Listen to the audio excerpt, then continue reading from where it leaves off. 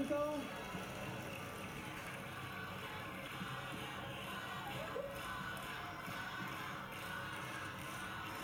a, vamos a explicar esto, aunque Ana ya lo sabe. En este caso hemos dicho que si hubiese un empate, es el favorito quien decide. En su caso, él ha votado a Ana